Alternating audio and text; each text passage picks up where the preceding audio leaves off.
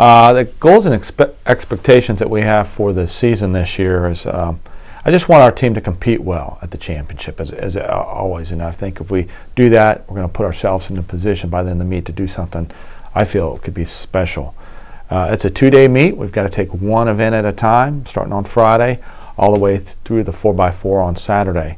And if we focus on what we have to do, maybe not other teams, but we focus on ourselves and what we can do, I think this could be a very special uh, meet for the Seagulls.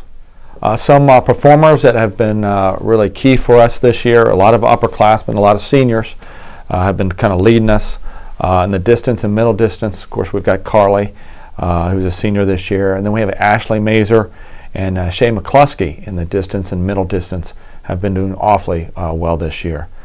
sprints, we've got Jamie Farley and Glory, two of our seniors, along with Ashley Linton.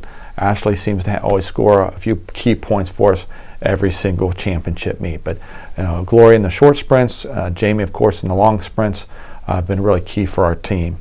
In the jumps, we've got uh, Kylie Dumas, and she uh, has had some really good uh, attempts at 12 foot, uh, close to that, and I'm looking forward to seeing her raise the bar as we finish off this indoor season. And then finally in the throws, we have Amani Hessel. Um, Amani has been really good in the weight, and I would expect her to do big things uh, with the throws in that particular event. Uh, men key performers that we have this year in the distances and mid distances. Well, we've got Connor Mastran. He's broken our school records in the 3K and 5K. Currently, he's leading the conference right now in both of those events. Uh, we've got uh, also Emmanuel Porkwin. Emmanuel's a strong middle distance. Every championship we've had, he's been a key contributor in that and will be anchoring our DMR uh, in, that event on Friday. Uh, in the sprints, uh, we've got uh, Jack McCluskey and uh, we've got Alex Hardman.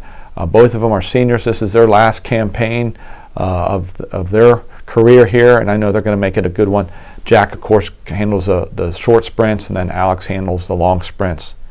In the jumps, we've got a, a mix of some vets and a new person. Jeff McGinnis and, and Chris Levy is handling the long and triple force.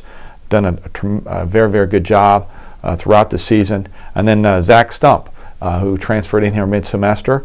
very, very good pole vaulter, leading the pole vault right now in the conference as of today. How our schedule has helped us, we got we're able with our schedule and the calendar the way it fell, an extra meet in December. So we got a lot accomplished early on, and then uh, was able to you know take the pressure off of us when we came back from from winter break. Uh, we've gone to a lot of Division One and Division Two meets. And I think that level of competition is, is really helped prepare us for what we're going to face at the conference championship.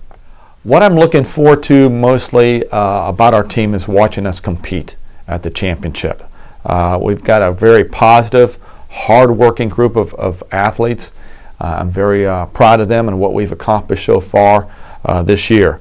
Um, but you know, I, what I want them to do is when we step off that bus on, on February the 15th, um, on into the you know the facility, I want them to uh, you know understand that they're prepared and we're prepared to face anything that uh, we may have uh, coming up uh, during those two days. And I think if we do those, when we face those challenges and commit ourselves to each other and, and take care of what we can take care of, I think we could have something very very special occur on uh, Saturday.